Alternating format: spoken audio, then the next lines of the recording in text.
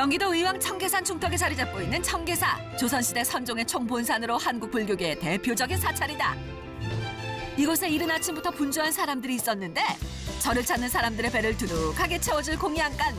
평일에만 200명이 넘는 사람들이 찾아온다니 어우 그 양도 어마어마하다.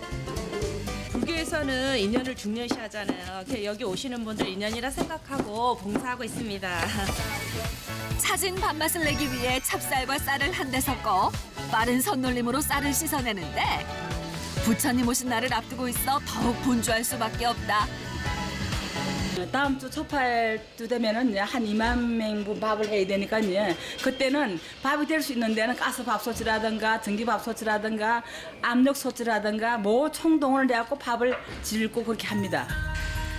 제철 맞은 나물은 물론이고 무공의 배추로 담근 김치까지 자연을 담은 사찰 음식 완성!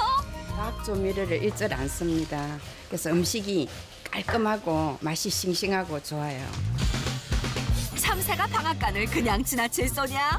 사찰 안에 고소한 냄새가 퍼지니 공양간 앞은 벌써부터 인산이네다. 아, 청계사 밥이 그렇게 맛있다고 해서요. 밥 좀 먹으러 왔습니다. 산에 오면은 여기서 저 공양을 해주시니까 고맙게 먹고 있죠. 갓 지은 정성 한 그릇을 너도 나도 맛나게 비벼서 한 입에 쏙쏙 영양 만점 어 그 맛 한 번 일품이네 이 공양식은 조미료를 안 넣기 때문에 상당히 저 맛이 담백하고 좋아요. 나는 비빔밥 중에 아 이거보다 맛있는 비빔밥이 없어요. KBS